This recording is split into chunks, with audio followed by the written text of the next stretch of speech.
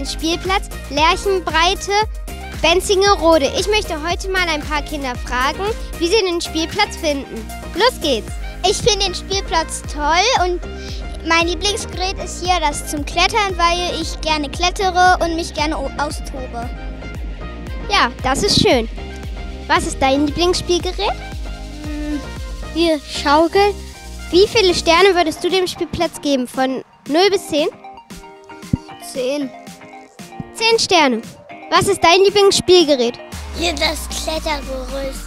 Also ich fand den Spielplatz sehr toll, klein aber fein. Ich fand, äh, ich fand das hier am besten, weil ich gerne klettere. Und hier klettere ich am liebsten auf dem Netz hier. Tschüss!